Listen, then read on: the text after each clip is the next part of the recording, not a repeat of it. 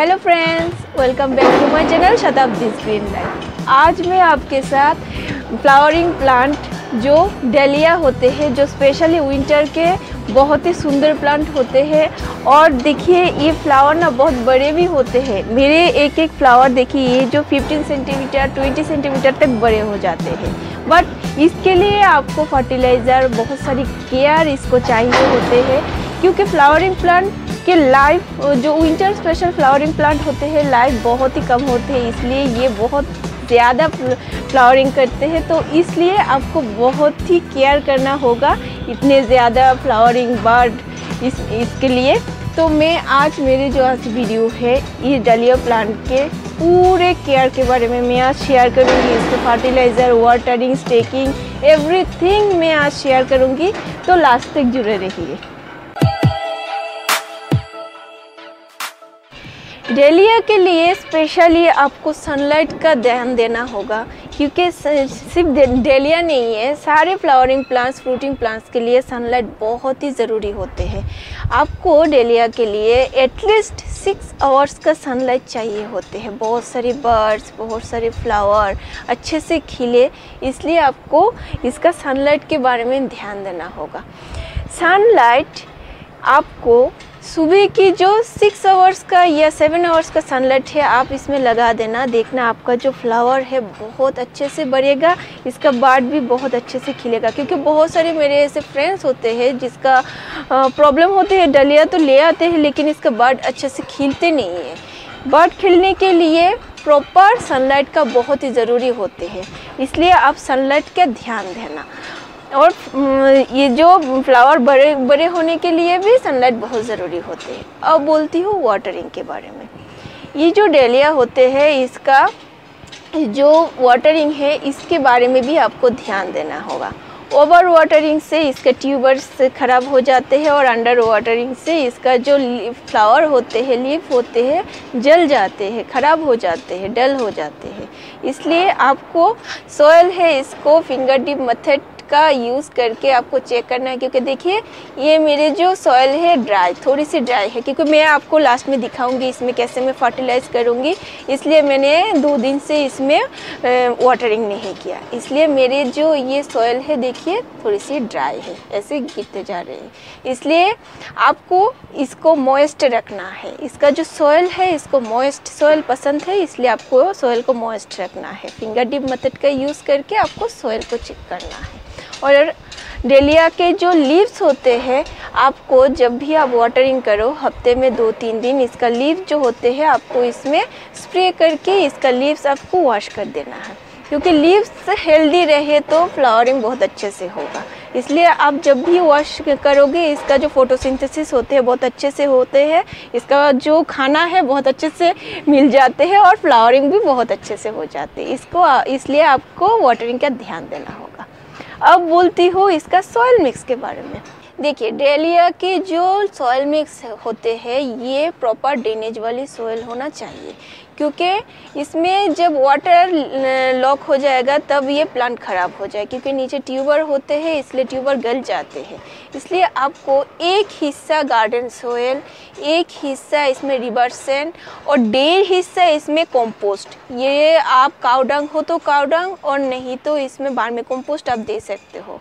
और आप इसमें रिवर्सन देना और थोड़ी सी कोकोपीट डाल देना, क्योंकि कोकोपीट डालने से क्या होते हैं, इसका जो मॉइस्चर है ना, इसको होल्ड करके रखते हैं। तो आप इसमें कोकोपीट डाल देना और थोड़ी सी फंगिसाइड नीम खली डाल देना। नीम खली से बहुत अच्छे से ये जो नीचे जो फंगल इन्फेक्शन हो जाते हैं, इसको ये फाइट कर पाते हैं ये सोयल। इसलिए आप ऐसे वाले सोयल बनाना, ठीक है? अब बोलती हूँ इसके फर्टिलाइज़र के बारे में। सब प्लांट के लिए फर्टिलाइज़र बहुत ही ज़रूरी होते हैं और स्पेशली जो डेलिया का फ्लावर जो आप बड़े डेलिया के फ्लावर चाहते हो तो और ज़्यादा बर्ड चाहते हो तो इसके लिए तो स्पेशली आपको फर्टिलाइज़र का ध्यान बहुत ही ज़रूरी होते हैं। अब इसके जो फर्टिलाइज़र है, इसके लिए आप जो लिक्विड फर्टिलाइज़र बनाओगे, वो आप कैसे बनाओगे मैं अब बताऊँगी। एक लीटर पानी में आप three two fifty gram compost दोगे। इसके बाद इसमें वन स्पून या फाइव ग्राम आप मास्टर्ड केक दोगे, क्योंकि मास्टर्ड केक बहुत ही ज़रूरी होते हैं फ्लावरिंग प्लांट के लिए। फ्लावरिंग प्लांट और फ्रूटिंग प्लांट के लिए मस्टर्ड केक बहुत ही मस्टर्ड केक में माइक्रो न्यूट्रिएंट्स होते हैं, इसलिए मस्टर्ड केक बहुत ही ज़रूरी होते हैं। तो आप वन स्पून और फाइव ग्राम इसमें मस्टर्ड केक दोगे और हाफ़ स्पून मैग्नीशियम इसमें डाल दोगे। Half spoon means two gram इसमें मैग्नीशियम दोगे। इसको आप दो तीन दिन पानी के साथ डल्यूट करके आप रख देना। दो दिन दिन के बाद आप पानी के साथ डाइल्यूट करके one is to one ratio में आप इसमें डाइल्यूट करना। आज मैं पीएच को पीएच लेवल को ठीक करने के लिए मैं इसमें सीवीड फर्टिलाइज़र दूँगी। देखिए ऐसे चारों ओर से आप फर्टिलाइज़र डाल देना।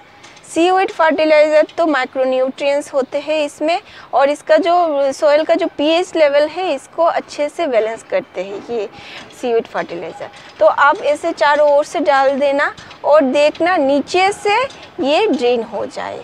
जब भी आप फर्टिलाइज करोगे, ये नीचे से ड्रेन हो जाए।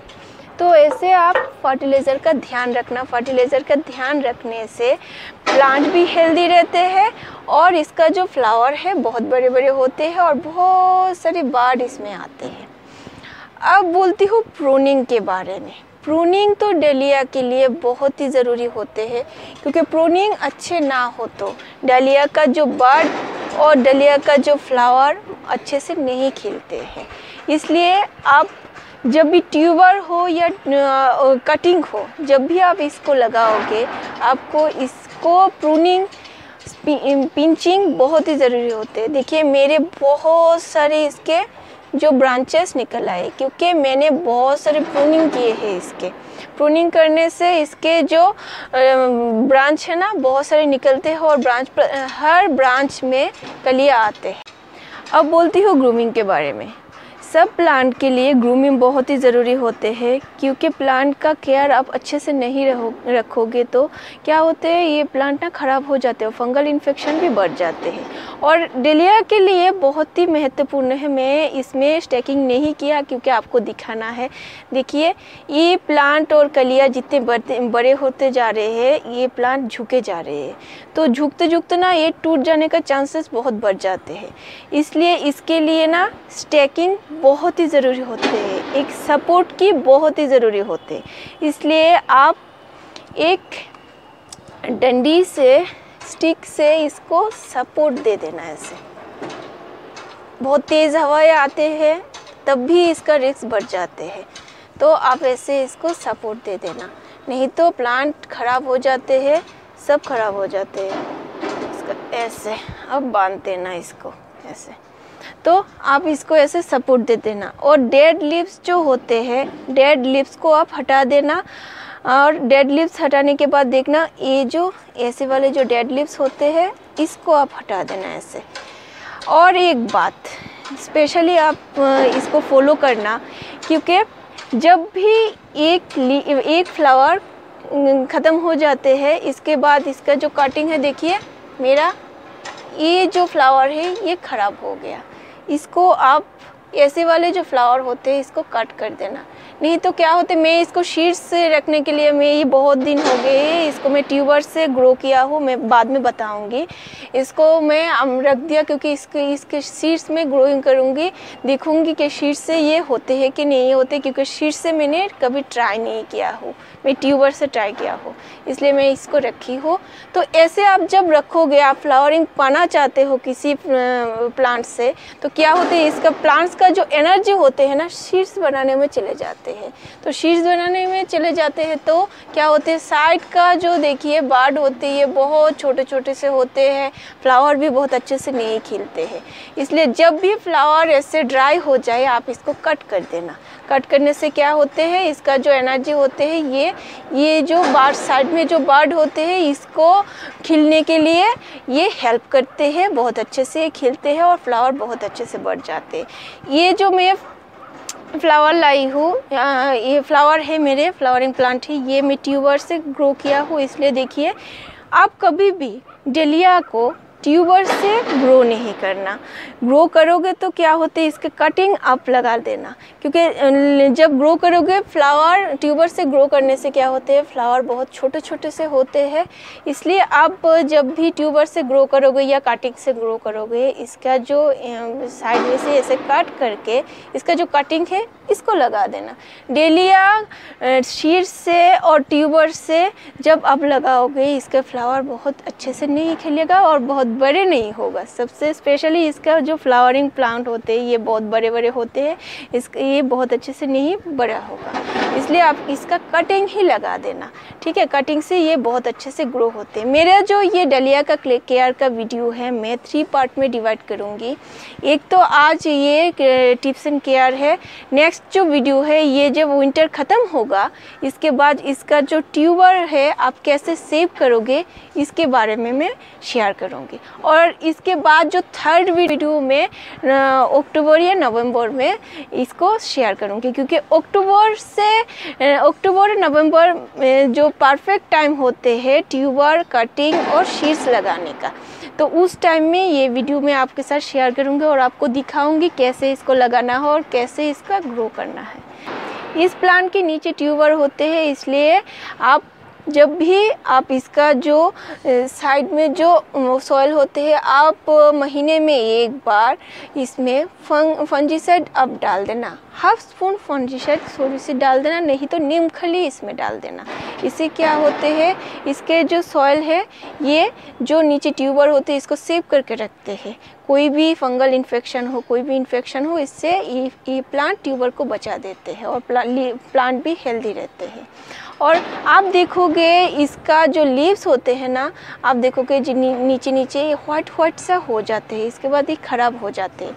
इसलिए आप महीने में एक बार इसमें जो नीम ऑयल है ना नीम ऑयल का स्प्रे कर दे दे सकते हो नहीं तो कोई भी फंजीसाइड है फंजीसाइड का स्प्रे आप कर सकते हो। तो इससे ये प्लांट का जो फंगल इन्फेक्शन है कोई भी कीट का जो अटैक है उससे ये प्लांट बढ़ जाते हैं। और वन टाइम आपके पास हो तो जो सीवेड फर्टिलाइज़र होते हैं, मैं मैं आज दिया हूँ, ये वाले फर्टिलाइज़र आप दे सकते हो। इससे ये प्लांट बहुत अच्छे से बढ़ते हैं। और नहीं हो तो कोई बात नहीं, आप महीने में दो बार ही वो जो लिक्विड टी है, वो आप दे दो। देखना आपका प्लांट बहुत अच्छे से बढ़ेगा और बहुत हेल्दी भी रहेगा। और एक चीज़ मैं दिखाती हूँ प्रॉपर कटिंग ना करने से क्या होते हैं? देखिए मेरा जो ये प्लांट है, इसका मैंने प्रॉपर प्रोनिंग नहीं किया हो।